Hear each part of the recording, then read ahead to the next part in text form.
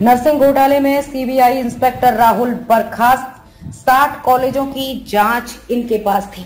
DSP inspector समेत 10 नए आरोपी अब तक 23 पर FIR.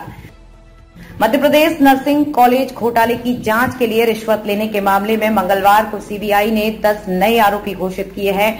इनमें सीबीआई के ही डीएसपी और एक इंस्पेक्टर शामिल हैं। अब मामले में चार सीबीआई अफसरों को मिलाकर आरोपियों की संख्या कुल तेईस हो गई है। वहीं सीबीआई इंस्पेक्टर राहुल राज को बर्खास्त कर दिया गया।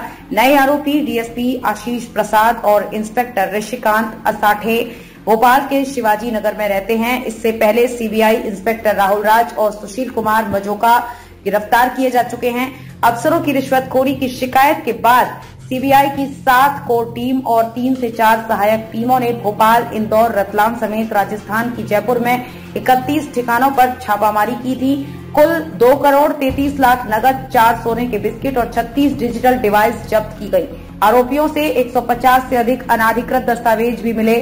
600 कॉलेजों में से 308 को दी थी जाँच रिपोर्ट। सीबीआई सूत्रों का कहना है कि इस मामले में अब पूरी जाँच टीम ही संदेह के दायरे में आ गई है।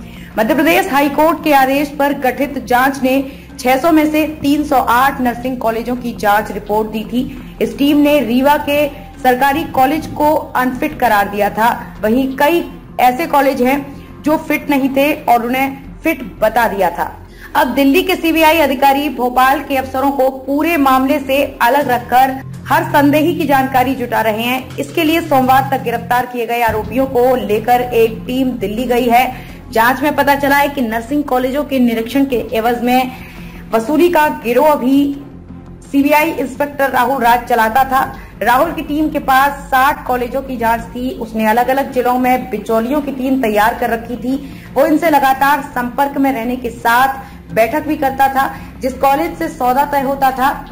उनके यहाँ निरीक्षण का समय और दिन पहले ही बता दिया जाता था। उगाही से मिली राशि राहुल राज राजस्थान के झालावाड़ निवासी धर्मपाल तक पहुंचाता था।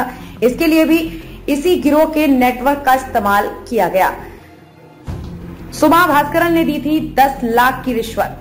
सीबीआई छापेमारी के दौरान सबसे पहले इंस्पेक्टर राहुल राज को 10 लाख रुपए लेते हुए गिरफ़्तार किया गया था। रिश्वत लेने वाले चार अन्य लोगों को भी हिरासत में लिया गया था। इनमें नर्सिंग कॉलेज के मालिक अनिल भास्करन की पत्नी सुमा भी शामिल थी।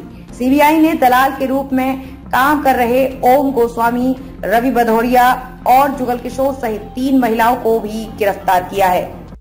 अगर आपको वीडियो पसंद आई हो तो वीडियो को लाइक करें, शेयर करें और हमारे चैनल को सब्सक्राइब करना ना भूलें। बना रहे हैं। एपी कंस्ट्रक्शन सॉल्यूशंस आपके लिए तैयार है। मज़बूत सिविल इंजीनियरिंग से लेकर आकर्षक वास्तुकला और विशेषज्ञ वास्तु परामर्श तक हम आपके सपने को साकार करते हैं। वास्तुकला, वास्तु और हुनर इतने बढ़िया। दिए गए नंबर पर कॉल करें और अपने घर के डिज़ाइन को चमकाएँ। Please visit the Mountain Cafe and Bakery for fast food nearby Sohagi by